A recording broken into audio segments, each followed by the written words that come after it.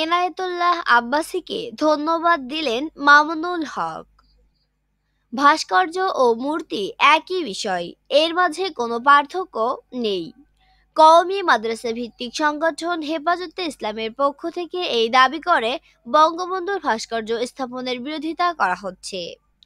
এ বিষয়ে সরকার দলীয় নেতাকর্মীদের পক্ষের যুক্তি, বিশেষ করে শিক্ষা উপমন্ত্রী ব্যারিস্টার মহিবুল হাসান চৌধুরী নওফেলের দেয়া সম্প্রতি এক বক্তব্যের প্রতিক্রিয়ায় মাওলানা মামুনুল হক দেশের সুনিয়তপন্থী হিসেবে পরিচিত মাওলানা এনায়েতুল্লাহ আব্বাসী ও মাওলানা গিয়াসুদ্দিন তাহিরি সহ অন্যদের বক্তব্য দেওয়ার আহ্বান জানান। তার ফেসবুক ভেরিফাইড পেজে এই আহ্বান জানানোর পর মাওলানা এনায়েতুল্লাহ আব্বাসী তার প্রতিক্রিয়ায় বলেন, ভাস্কর্যের পক্ষে সুন্নি তো দূরে থাক, ফাসেক মুসলমানেরও সমর্থন থাকতে পারে না। সেজন্য আজ রোববার মাওলানা মামুনুল হক ফেসবুক পেজে মাওলানা এনায়েতুল্লাহ আব্বাসীকে ধন্যবাদ দিয়ে পোস্ট দেন। তিনি লিখেন জাজা কুমুল্লাহ মুফতারাম মাওলানা এনায়েতুল্লাহ আব্বাসী সাহেবকে ধন্যবাদ জানাই।